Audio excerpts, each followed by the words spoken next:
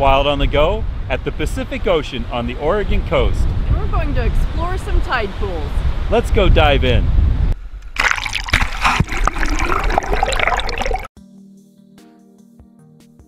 Check the tide table. You'll want to arrive about an hour before low tide.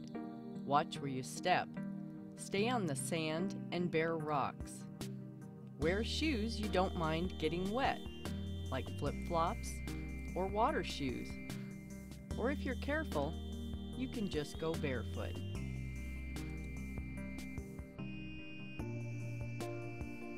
There are well over a thousand species of sea stars. They can have as many as 40 arms, but the most common sea stars have five. If they lose an arm, they can regenerate a new one, and some species can even grow a full sea star from a severed arm. Some can live up to a few decades.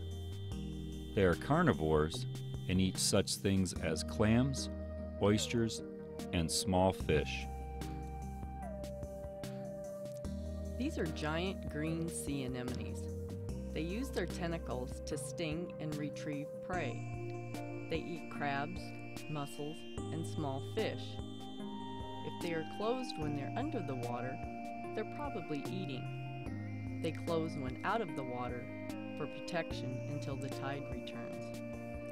The most common sea anemone is the aggregating anemone. They're packed tightly together because they can reproduce by cloning themselves. When they're under the water and open, you can see the pink tips of their tentacles.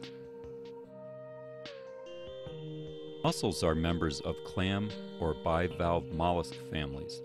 They produce a viscous adhesive that, when mixed with seawater, helps to strongly secure them to hard surfaces such as rocks. They eat plankton and other tiny sea creatures. Spaces between them provides protection for sea life from waves, sun, and predators. Polarized sunglasses help take the glare off the water. A telescopic camera extension pole can get close shots without disrupting wildlife or getting your feet wet. A lens cleaning cloth will come in handy to keep your camera lens clean so you'll get clean, clear shots. We hope you enjoyed our tide pool video. Please remember to comment, share, and subscribe. Thanks, for watching.